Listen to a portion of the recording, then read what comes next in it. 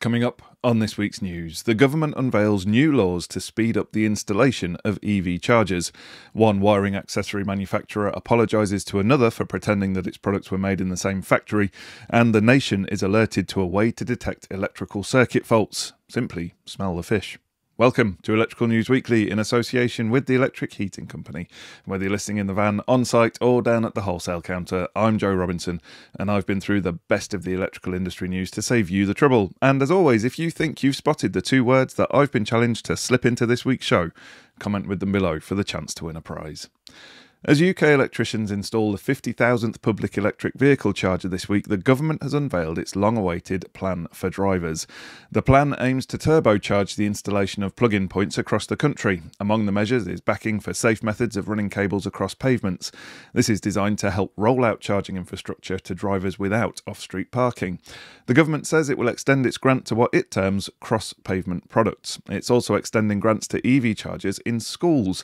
Officials point out that educational buildings are everywhere in the UK and provide a perfect place for staff, visitors, and local residents to use at night, weekends, and during school holidays. Ministers are also exploring ways to cut the paperwork associated with the installation of charge points and to speed up the approval process. Finally, they say they'll look at the long standing gripe about slow grid connections and investigate how to cut the delays in getting chargers hooked up to the network. I've put the link to the plan in the show notes. Installing EV chargers is one thing, but maintaining them is another. Experts are pointing out that there is a growing shortage of electricians to keep them in working order. Research shows that as many as one in five charging attempts by drivers failed in the first half of the year, often due to malfunctioning equipment. The scarcity of skills is particularly acute in London, despite the higher proportion of electric cars in the city. The Electrical Contractors Association says there is now a mountain to climb if the capital is to meet its targets, not just for EV, but for all low carbon installations. The green skills gap, as it's termed, means Londoners can't get qualified tradespeople to fit heat pumps, smart buildings, and solar panels. Andrew Eldred, the ECA's electrical gladiator, or Director of Public Affairs if you want his official job title, says electricians are essential for the transition to net zero. But London has one of the smallest number of electricians per head of population in the UK. He also points out that it also has one of the worst electrical apprentice recruitment rates. By contrast, enrolments onto college electrical courses in London are booming. College learners outnumber local apprentice starts by an astonishing 800%, but fewer than 1 in 10 of these learners manages to progress onto an apprenticeship after college. Eldred describes it as a terrible waste. The ECA is now calling on local authorities, education providers, and employers to work together to support far more learners into rewarding green electrical careers.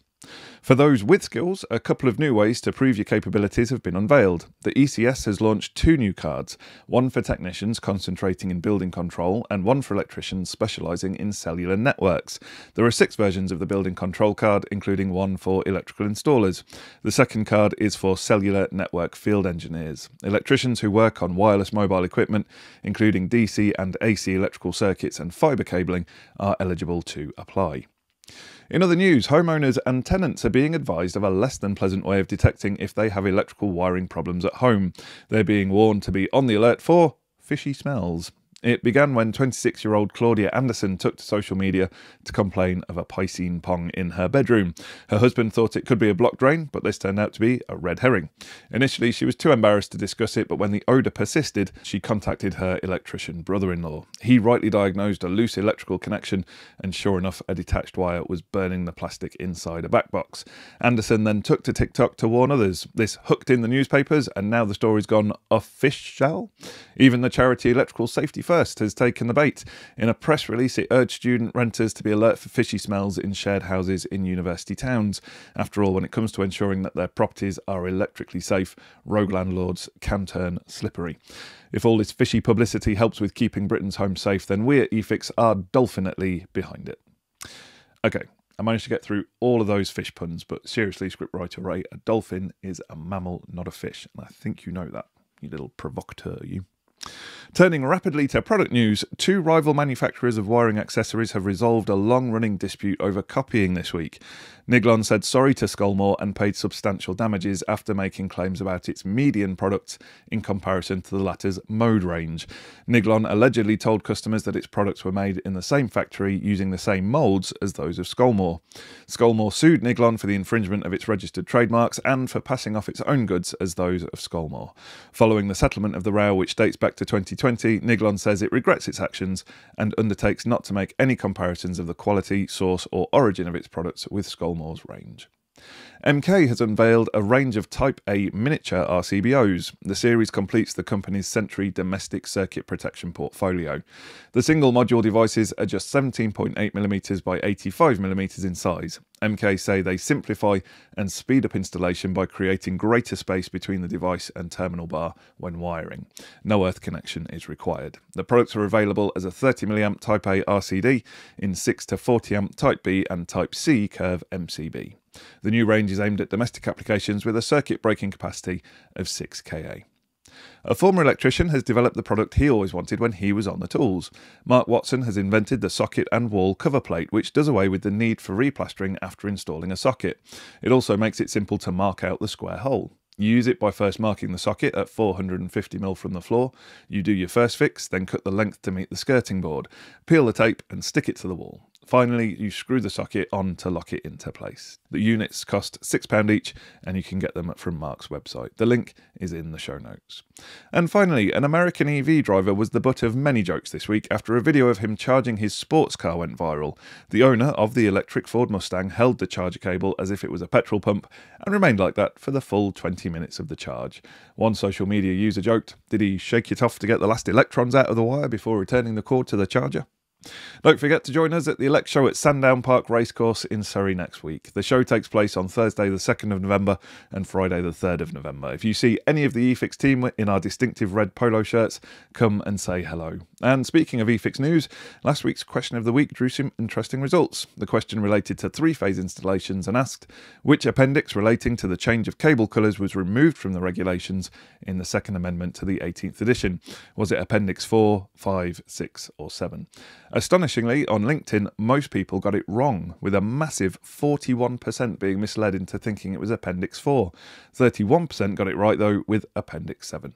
If you have no idea what I'm talking about or what the mysterious disappearing regulation is all about, then please check out our free training package over on our CPD website on the subject of three phase electricity that we made in association with Lewden Palazzoli. You'll find a link in the show notes. Now, just before we get to your favourite bit of the show where I reveal last week's challenge words and winners, we want to thank our premium partners. We couldn't make the news without you. First up, they're the people who've created the Swiss Army knife of solar inverters along with all weather batteries, very much the Boy Scouts of the solar industry. It's Sunsynk. Up next, for all your circuit protection needs, they're like having an Italian star striker in your Premiership team. It's Lewden Palazzoli. And for the ultimate experience in wireless sound and home cinema with their most powerful portable speaker yet, it's the home of the Rome Sonos. The best thing to come out of Yorkshire since stainless steel, it's Doncaster Cables, the home of EV Ultra and other groundbreaking and quality cables. Celebrating their 100th anniversary of literally creating connections in the electrical industry this year, rising from the flames like some kind of mythological avian, its Phoenix Contact. And finally, celebrating their 60th anniversary this year with an incredible range of equipment from EV charge points through industrial sockets and switches to kit for explosive areas, plus they supplied gear for a Campari factory, so they'll always have a place in my heart. It's Scame. Big thanks to you all. We really appreciate your ongoing support for the news. If you think you know the words I've smuggled into this week's show, pop your guess into the comments and we'll dig out a goodie bag prize to the first to get the right answers. Last week's words were sarong and anchovy, and we're back to business as usual because loads and loads of you got it right. However, the first person to get both right was Guitar Pup 4, who came screaming in with not just the first right answers, but the first comment full stop. So a well deserved win. Click the Get Involved link in the show notes to claim your prize. Thanks for listening to this episode of Electrical News Weekly in association with the the Electric Heating Company. Make sure you subscribe to receive the next update. Thanks for listening, and until next time, have a great week. Stay safe out there, and remember, there's no such thing as a torque calibrated arm.